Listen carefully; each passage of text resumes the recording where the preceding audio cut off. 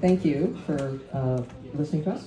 Uh, when the war in Ukraine started, um, like many people, I was completely distressed about what was happening. So I didn't know what to do. So what I could, I did what I could do was I decided to make a guitar and channel all my anxiety and uh, distress into the guitar. So I made a guitar with the intention of donating every penny to charity to humanitarian aid in Ukraine. In Ukraine.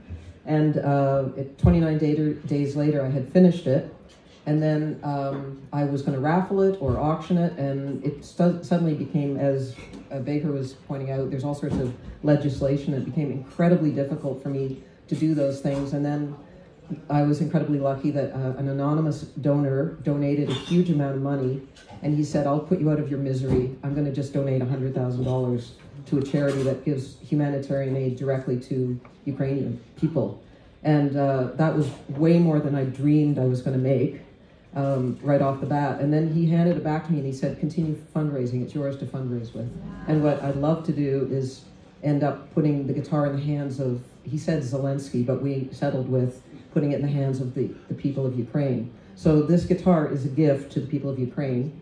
And um, what we've been doing, and I've, uh, well, I've had people helping me, even though I made the guitar. Once this initiative started, I had people helping me, and I had an incredible team, uh, including uh, the anonymous uh, donor and uh, Stephen Bennett in Connecticut helped me, uh, and I had wranglers. So people would take the guitar and they would put it in the hands of well-known musicians with the hope that they would tell their um, fans and supporters about the project and donate. So we set up uh, two charities, one in Canada, one in the United States.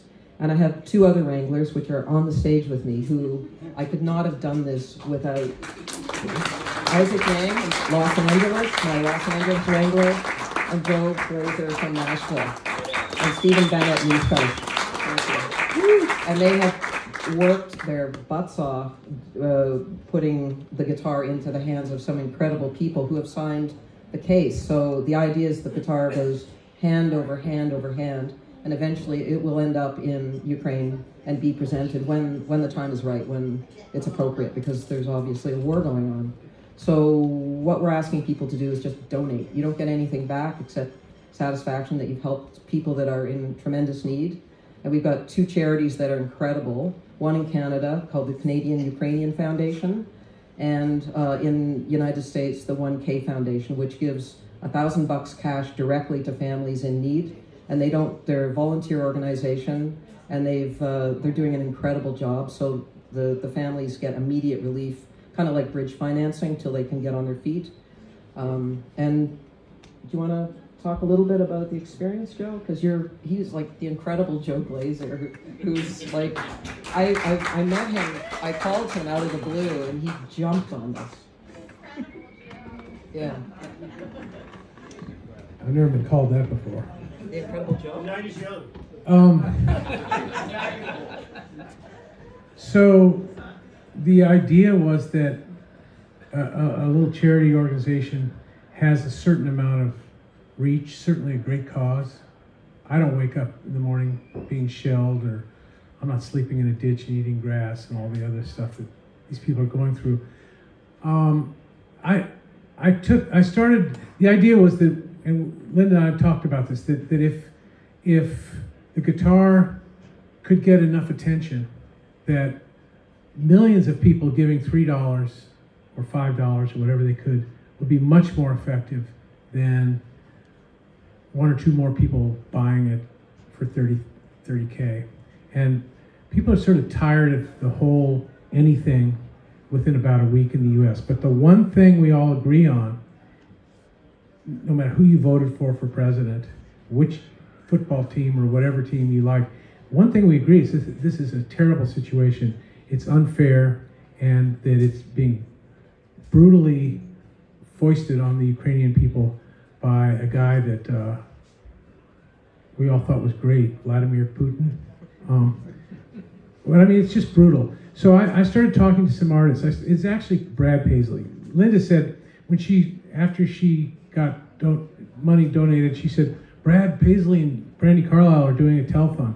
would he hold it or put it in the background? I called him up and he said, yes and no. Yes, I would do it, and it's too late. And and and but maybe there's something else. And so the we we were just talking about is the, the idea came up of getting a bunch of people who had reach and clout to sign it and buy in on it in terms of just their the fact that they agreed with this. And then, then at a certain point, we would go back to them all and they would um, they would post something about this to their millions and millions of fans, which is what's about to happen. And hopefully, some of those people will forego a cup of coffee at Starbucks or something and, and give money for what is still and going to continue to still be a tremendous cause with tremendous need. Uh, there's a lot of them in the world, but this is this is one of them that's in front of us every day. As far as it goes, one of the, the first people I talked, I mean, I, I took it to Paisley and Dolly Parton and Keith Urban, and we got to James Taylor and Joni Mitchell, and on and on. Uh, Isaac added trem- tremendously important names to it. But it's not about the names. It's about that that reach that they have, and it's about the fact that once once it's released, it's sort of an opportunity for us all to tell our friends, please do something. It'll it'll make us all feel better, and it'll certainly help those people. There is one of the first people I talked to does have that direct um, avenue to Zelensky, and so it would be wonderful if it makes it over there and he gets it and he can give it to a school or you know the people or a player. He's a guitar player, turns out, but he's, he's still cool anyway. And, um, so that's the idea. So so if you every bit helps. So if you want to donate something, that's fine. But also you just tell all the people you know because you know we all know somebody who knows somebody who knows somebody. Tell us how to donate. Uh, Okay. Sunflowerguitar.com. Why don't you talk about your experience in LA? My experience in LA? Hi, my name is Isaac Jang. I am a guitar maker. Uh, uh, Linda is one of my guitar heroes, so is Joe. And uh, Fretboard Journal podcast, she did it early on, and I listened to it, and I was like, ooh, I need to reach out to her. So I sent an email, uh, Linda, if you need any context, maybe I can try to arrange that. Yes. And, and Linda said, you're to be LA Wrangler. I'm like, Linda Manzer's telling me, okay, I'll take it. And I got the guitar and I was like, I don't know what to do with it. so I reached out to a few of my uh, good friends, contacts. Fred Walecki from Westwood Music, who was my former boss, and a, a couple of my pro musician friends. And first thing I did is I went to go see Fred, and he doesn't have a vocal cord, but he's just so much energy, so much, uh, just you know, just love. And he said, first thing that he said, it would be great to have Joni to sign the guitar.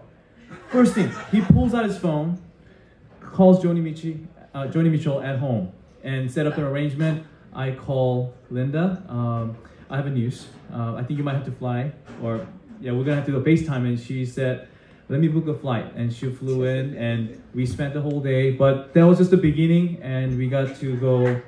Uh, I mean, that just flew into the whole natural status of everything. Just, I mean, the guitar was just going to its places that it needed to go and I was just a messenger, uh, and I got to, I feel like the most luckiest messenger who witnessed all this music community uh, putting love and support toward the people of Ukraine to just say, hey, you know, we got your back, we're sending love, and we really uh, are behind you. And that's what I got to witness. And I just took a very small part in just being a wrangler, just carrying the guitars around and being able to see that. And uh, yeah, everyone was very supportive. And the way to donate is you go to sunflowerguitar.com.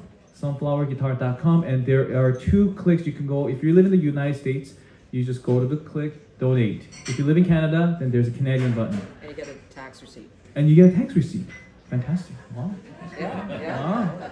And and then also it also shows the uh, live status uh, journey of where the guitar is, and you get to see all the up to date um, of who've seen the guitar, who got to sign the guitar, who's supporting this whole project. But it was incredible. I mean, we had people like Joni Mitchell, David Crosby, to some of the younger guys like uh, Ryan Lerman, John Legend. Um, uh, Mason Stoops, Marcus Mumford. I mean, we, got, we just got the whole array of uh, people who were just supporting it. So um, fantastic. So I, I am just very thankful that I got to partake uh, and uh, yeah.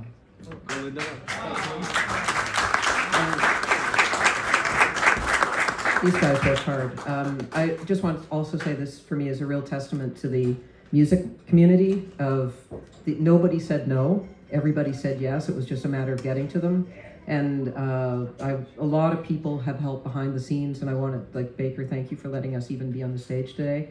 Um, and, I just want to say thank you to all of you, and what an amazing, loving community we have with a lot of heart and this project is a, a, reflection of it, and hopefully the people of Ukraine hear that message, and uh, also they get tons of bucks. So give lots of money if you can to Sunflower. You might. You Oh, might is it guitar? It's also signed by a, a Oh. tremendous list of, of the best luthiers alive in the world.